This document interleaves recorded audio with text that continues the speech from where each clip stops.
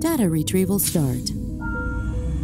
42%, 57%, 94%. Transmission successful. Streaming now.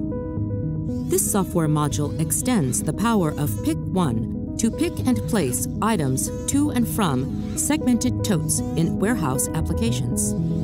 The segmented tote picking modules handles totes up to eight sections, and pick and place zones can be dynamically configured for added flexibility. The PickOne software analyzes the 2D, 3D, and AI data to identify each pickable item on scene and assigns each one an associated confidence level. If no items on scene has a qualified confidence level, Pick 1 generates a Yonder request for a crew chief to handle the exception by selecting an item to be picked. Item successfully picked. Upon placement, the Pick 1 Perception Kit images the place zone to ensure a quality event. If it detects something unexpected, it generates another Yonder request to resolve the issue. Message successfully transmitted.